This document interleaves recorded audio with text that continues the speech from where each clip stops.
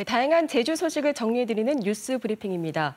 먼저 제주지역 언론에서 쏟아낸 뉴스 가운데 주목할 만한 기사를 소개해드리는 뉴스픽 전해드립니다. 오늘은 제민일보 이은지 기자의 혈세 수십억 원 들인 용역 비공개, 밀실 행정 논란 기사를 전해드립니다. 제주도가 어제 도청에서 도민혈세 24억 원을 투입한 제주도 환경자원 총량 관리계획 수립 중간보고회를 비공개로 진행했다고 재민일보가 보도했습니다. 제주일보 역시 같은 내용을 전했는데요. 환경자원 총량 관리계획 용역은 2022년까지 18억 4,500만 원을 투입해 환경자원 총량을 설정하는 내용이고 함께 이루어지는 도시 생태 현황 지도 작성 용역은 지난 4월부터 내년 11월까지 5억 7천만 원을 들여 생물 서식지의 유형도와 평가도, 현황 조사 등을 수행하는 내용입니다. 재민일보는 중요한 정책 수립 과정에 도민을 배제해 밀실 행정 비판을 자초하고 있다고 지적했습니다. 환경 자원을 보존하는 정책 취지는 공감하지만 사유재산권 침해 등 부작용을 해소하기 위해 도민 합의와 의견 수렴이 시급한데 보고회 비공개로 각종 의혹을 부추긴다는 취지인데요. 도민들이 중간 보고회 내용을 계획 수립 과정으로 보지 않고 최종 정책으로 받아들일 수 있어 자칫 혼란을 줄까 봐 비공개로 진행했고 앞으로 도민 설명회에서 용역 결과를 발표하고 의견을 수렴하겠다는 제주도의 해명도 함께 전했습니다. 환경자원 총량을 설정해 훼손되는 만큼 보건을 의무화한 환경자원 총량제의 도입을 준비하는 과정의 문제를 짚은 재민일보 이은지 기자의 보도를 오늘 뉴스픽으로 전해드립니다. 이어서 오늘의 영상입니다. K리그2 제주가 어제 전남과의 경기에서 2대 0으로 승리하며 이틀 만에 리그 선두를 탈환했습니다. 이번 승리로 제주는 10경기 7승 3무를 기록하면서 무패 행진도 한 경기 더 늘렸는데요. 리그 우승을 향해 질주하는 제주 유나이티드의 승전보 오늘의 영상에서 함께 보시죠.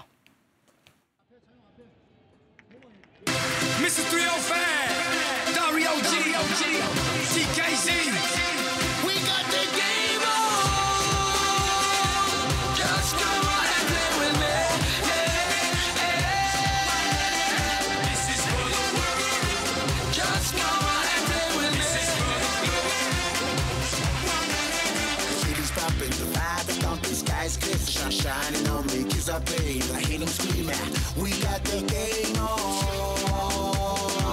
Just come on and play with me, me, me. All we want is, is the vibing. All we want is to stop all the fighting. Hear the screaming, don't be beating. Concentrate on the life that you live in. One, two, three, when we rocking the flow. What you hear now is the football song. Get it, you know, get it, you know. We got the game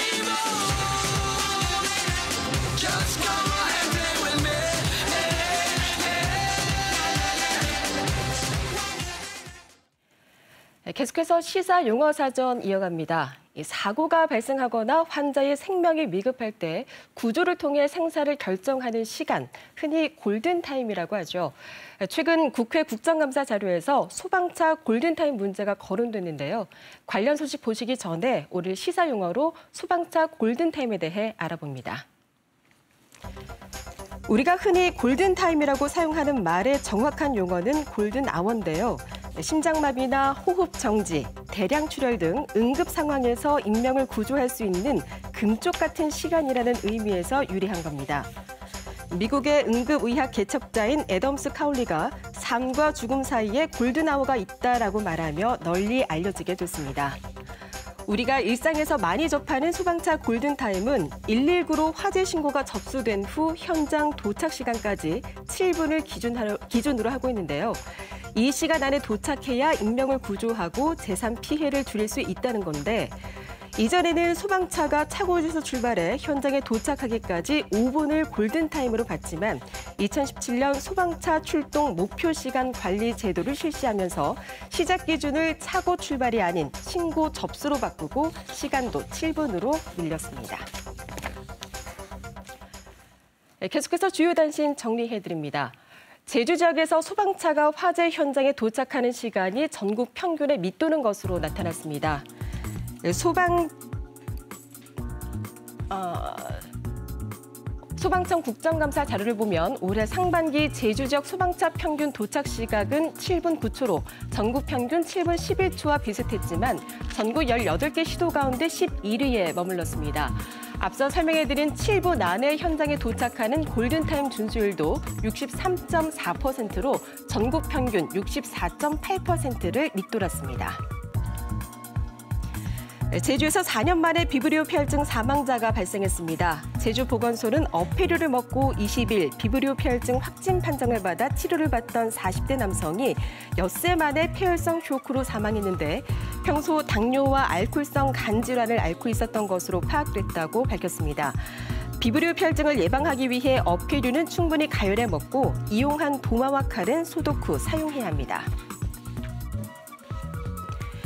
오늘 오후 1시 50분쯤 서귀포시 성사읍 웅평리 해상에서 소라를 채취하던 79살 해녀가 물에서 나오지 않는다는 신고가 119에 접수됐습니다. 이 해녀는 동료들이 발견해 구조했으며 신고를 받고 출동한 119 구급대에 의해 제주 시내 병원으로 옮겨졌지만 결국 숨졌습니다. 제주 코로나19 확진자 2명이 오늘 퇴원해 도내에서 입원 치료 중인 확진자 수가 1명으로 줄었습니다. 제주도는 방글라데시 국적 유학생으로 17일 확진 판정을 받고 입원한 제주 57번 확진자가 입원 13일 만인 오늘 퇴원했다고 밝혔습니다.